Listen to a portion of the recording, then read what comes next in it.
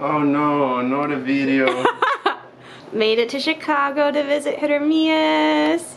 Yay, he's playing with Grant Park Symphony Orchestra this summer. I've been trying to think about how I'm going to use this coming week to prepare for the recital. Now obviously that Santi is not around to rehearse and I'm not going to see him until the 15th I believe, which is about a week before the recital.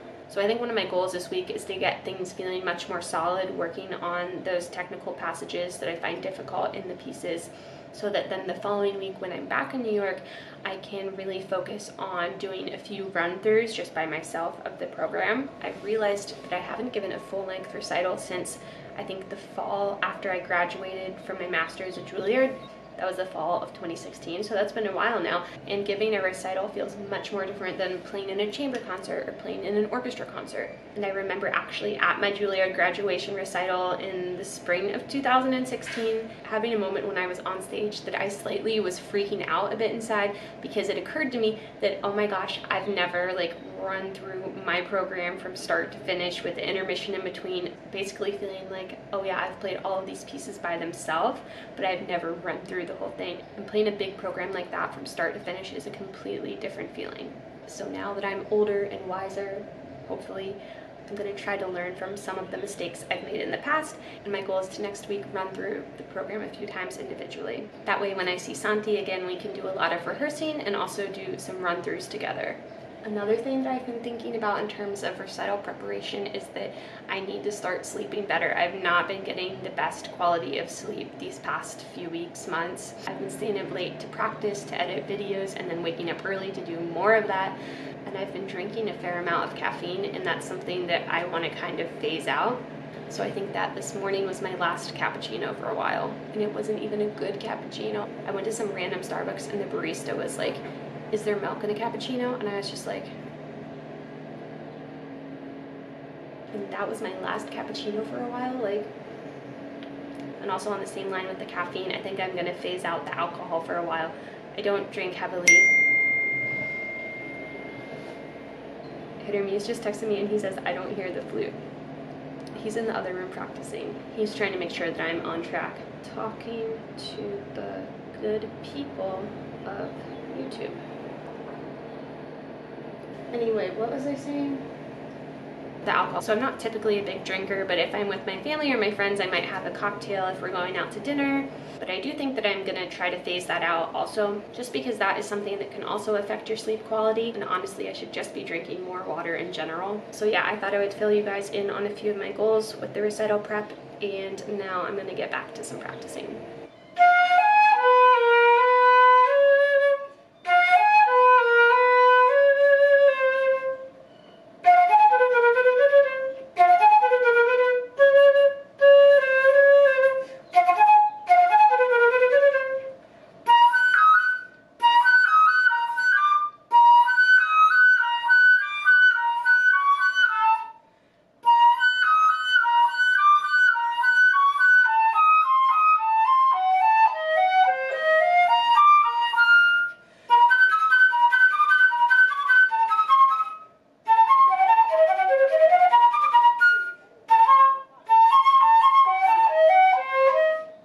Guys, so I am back in New York City. I got back yesterday from Chicago at about 1 p.m.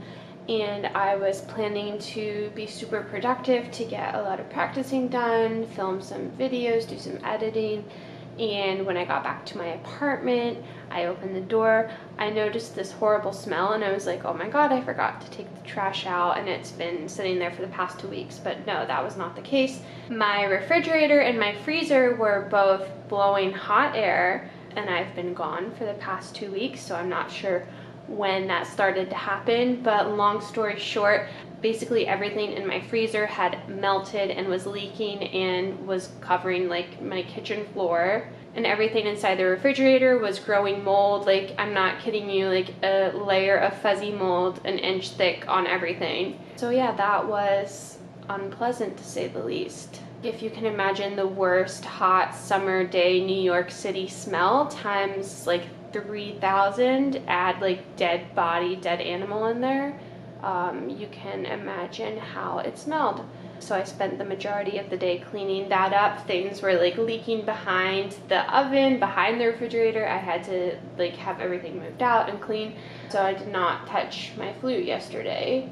And my fridge and my freezer are still broken, so I'm not gonna have a new one until after Mexico, which is, it is what it is. Um, but yeah, so I'm feeling a bit low energy today, just after dealing with everything yesterday and I'm not feeling very pleased with myself that I did not practice. And today I'm getting a late start on my practicing. I had to run some errands this morning, but I'm trying to be gentle with myself. It's just really hard because I have a to-do list of about a million things that I need to get done and sorted out before I leave for Mexico in less than a week.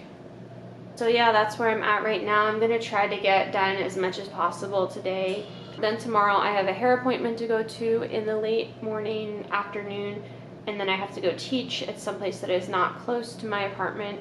So I'm gonna try to figure out also how to prioritize things tomorrow as far as practicing is concerned. So I'm gonna try to get some work done right now and I will talk to you guys later.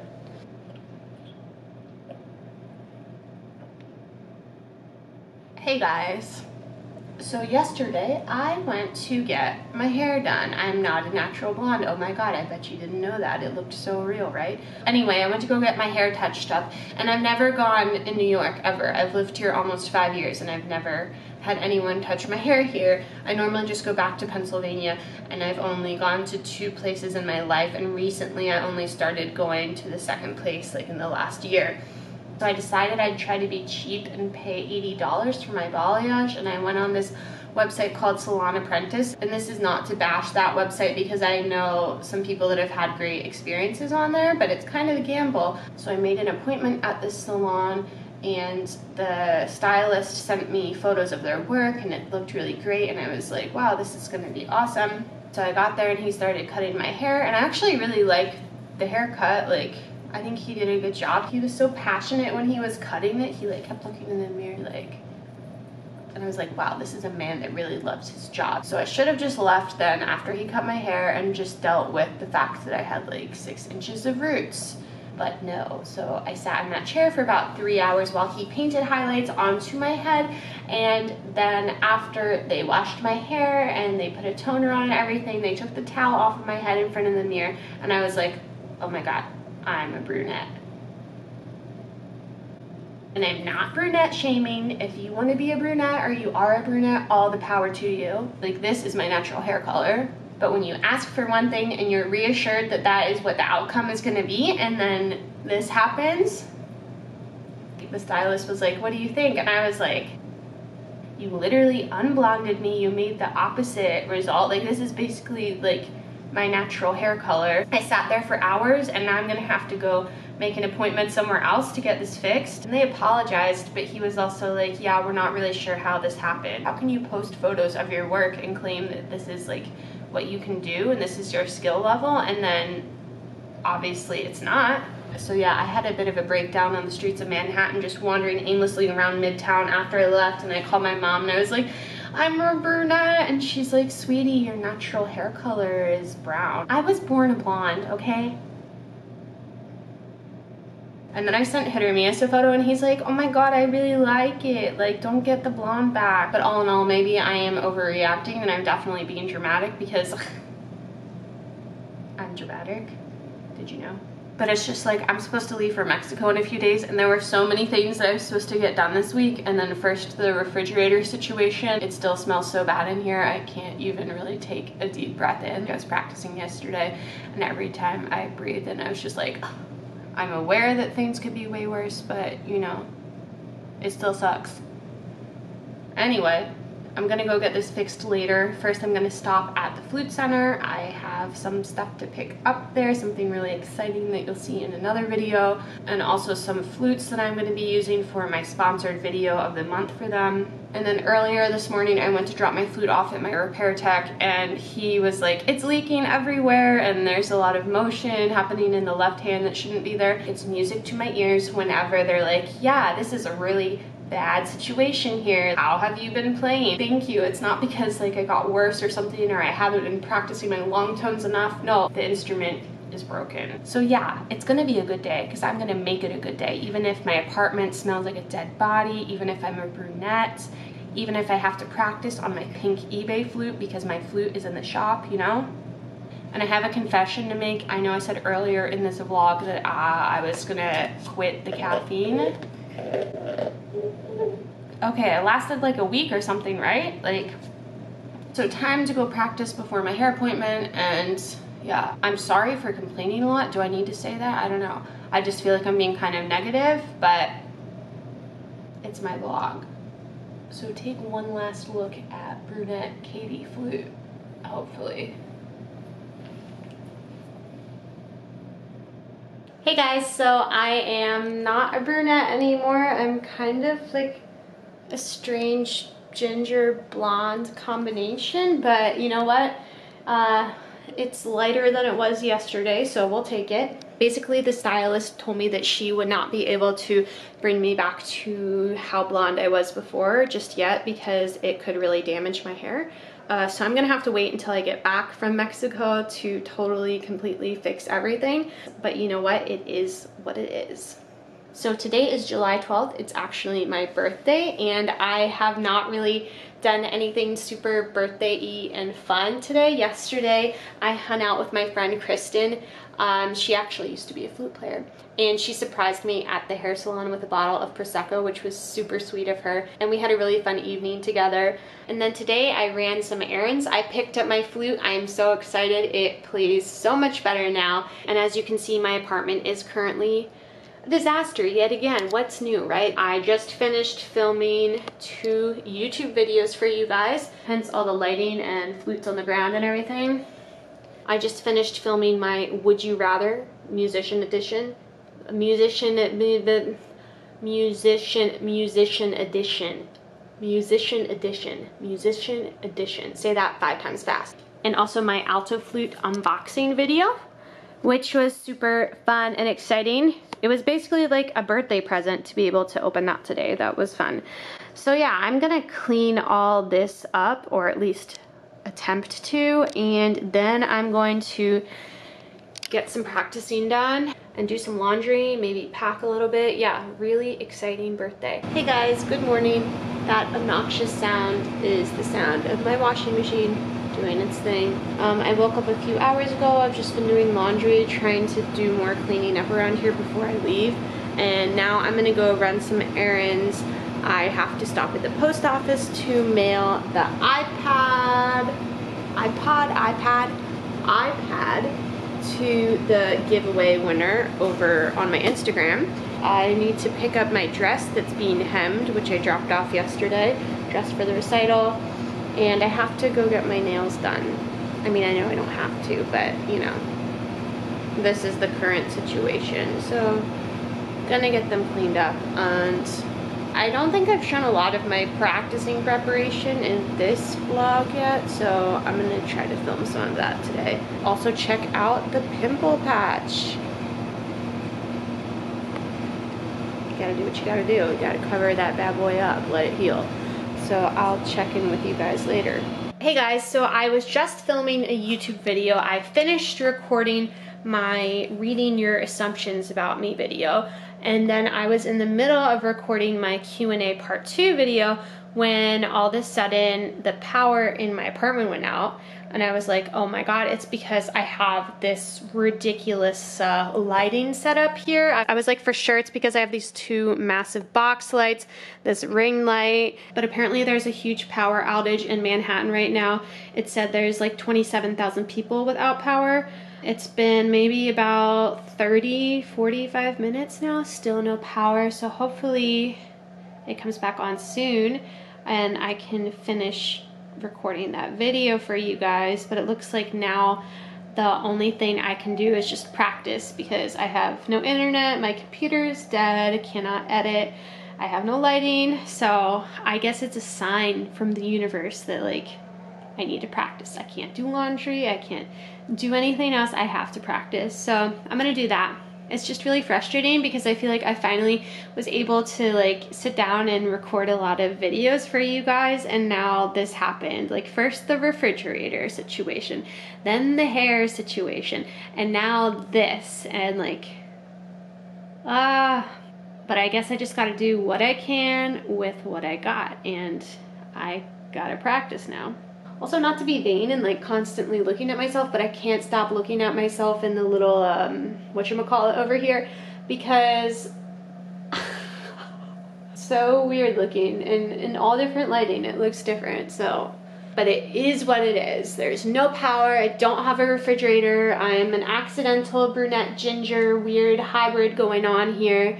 Um, what you gonna do? All you can do is just go with it so I thought I'd show you guys, I've been experimenting with using this thumb port and you might have seen it in my Flight of the Bumblebee video. There's one clip where I have it on um, just because I've been putting it on and off and seeing what I think about it. I'm still not sure yet. Maybe when I have more of an opinion on it, I can make a review video for you guys about it. Or I know some of you wanted to see like other flute gadgets. I don't really have any except for this now but I was thinking I could talk about this and then maybe the Freaks, which are those like little metal doodads that you put on sound bridge or whatever. So let me know what you guys think.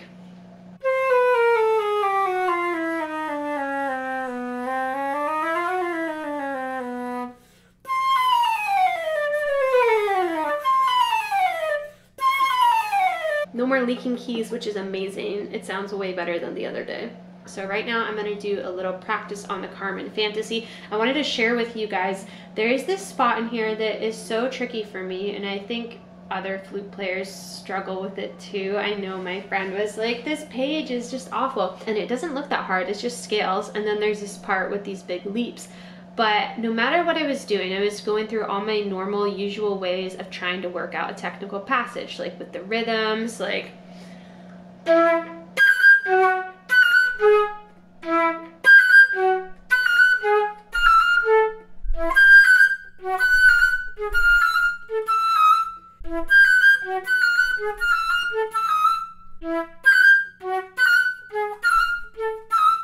I was getting really frustrated because I still kept missing notes. I didn't know what else to do. So I brought it to Jeremias and I was like, Jeremias, I need your help. I need your magic Argentine Suzuki trained violin skills to help me with this passage. Like, give me an idea how I can fix this.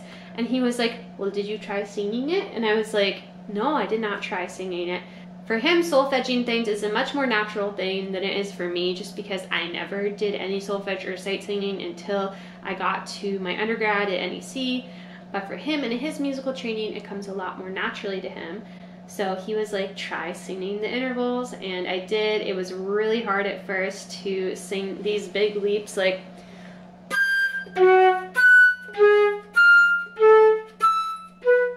Obviously, I can't sing it in that exact range, but just singing the intervals in any octave can really help. And I realized that the whole time I thought that it was just my fingers didn't know where to go, but really it was just that my ear was not anticipating the pattern, and then in turn, my fingers didn't know where to go.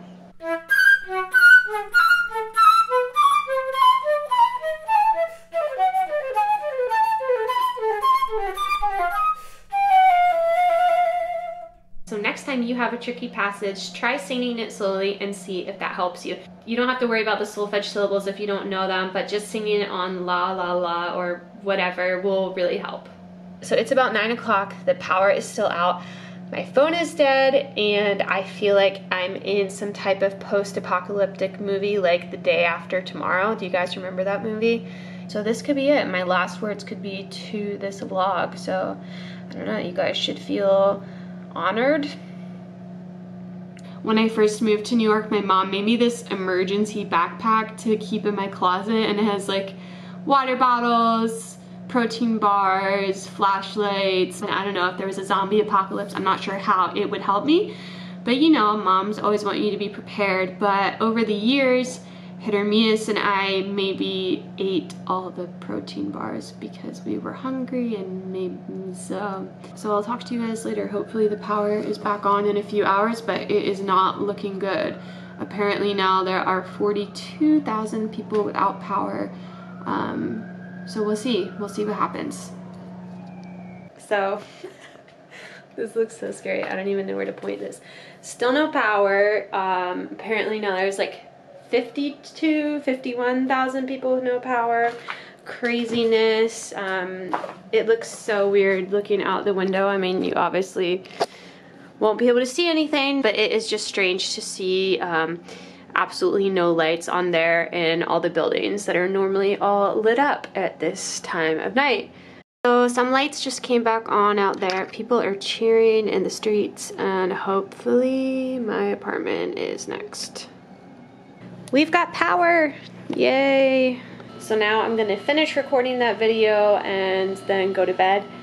And I'll see you guys in the morning for more practicing. Hey guys, so today, or I guess it's yesterday now, because it's 12.52 a.m. on Monday now, didn't vlog anything yesterday. I think I recorded like six or seven YouTube videos. Yeah, I did some slow practice earlier and then I just recorded stuff nonstop. Just trying to get things in before leaving and after Mexico I'm going to Connecticut for a week to teach and play at my friend's summer festival and then after that I'm going to Argentina for three weeks which I'm really excited about but I'm just kind of like trying to get everything done because I won't really be back in New York until like the second week of September.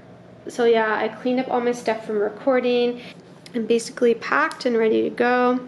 My flight is at 5.40 a.m. so yeah.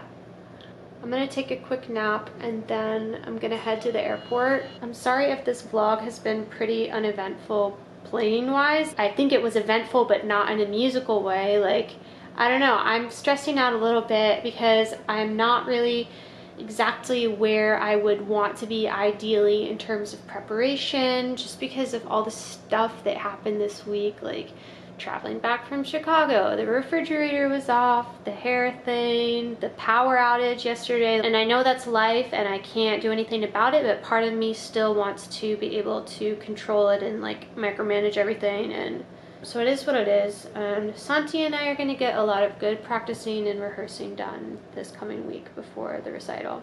So thank you guys for watching this vlog and the next time I see you or update you, I will be in Mexico. So I'll see you guys later.